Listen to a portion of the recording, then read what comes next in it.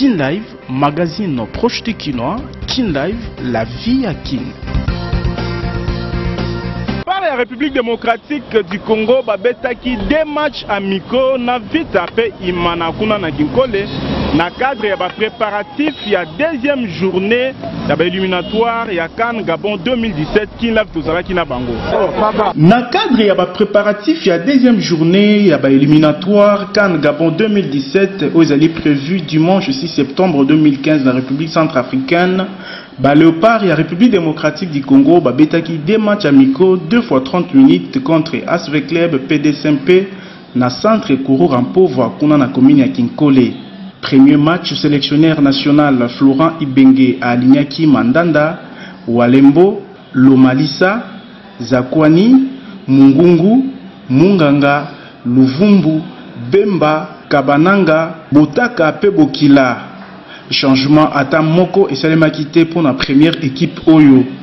Match kitoko oyo ezalaki solde na score ya deux buts à zero. Premier but ezalaki marque na 22e minute ya jeu na penalty na faute bo Mpunga asalaki sur Luvumbu na surface ya reparation. 27e minute après Junior a lobe Herve Lomboto mpe abeti frappe na kati ya grand carre sima ya passe en or ya Bokila Jeremie. Na deuxième match face ya Daring Club Motema Pembe, Florent Ibenge a alignaki Kiasumbua, Isama, Ntsakala,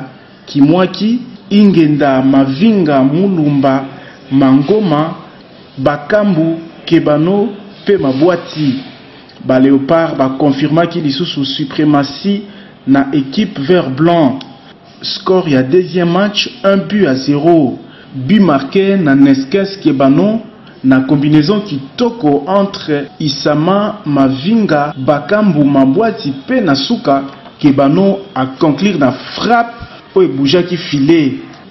Deuxième equipe ya Leopards e connaitraki changement ya Guelor Nkela oyo azwaki esika ya Kiasumbua na mi-temps mpe Cody Milambo a remplacaki Mulumba Remy mpo na Florent Ibenge, resultat oyo e ko permettre bango Ba aborder match ya dimanche 6 septembre kitoko.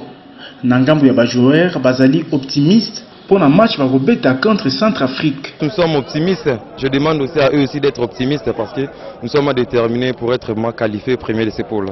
bakongole batia biso na bapriere na mabondeli oyo eza important yango wana tosala tous les moyens possible toganye eza facile te eza libanda mais basoutenir biso à 100 pourcent nzambe aosoma eza facile te mpo na ba oyo na nao reve baekipe na nao reve ekoma ye te nazwaki yango te mais oyo nzambe atikaka bana na ye te oyo ezalaki important nzambe apesi grâce naki osigne ya newcastle lokumu ezongaki epai na ye e na osoutenir na osenga merci na tout le peuple congolais oyo azali na souci nango batyaki nga na baprière ntina koma ntina komi lelo na obese baboite na okontinue kaka otravaille mpo na serre peuple congolais mpo na otambola na drapeau ya congo nanga banda osenga 10 millions bato nyonso bayebaki banda osenga 10 million noke akekeki ko madrid bango bayaki na 7 million noke te kwa mpo na sentiment mpo na kombo d'abord équipe fo baganye so baganye eza important ngai banda ozelaka équipe e eh, bazwi mbongo na bango banda osenga nakei esengeli na bino boyeba ete bajoueur ya vecle mpe ya dsm mpe oyo baprestaki na camp ya léopard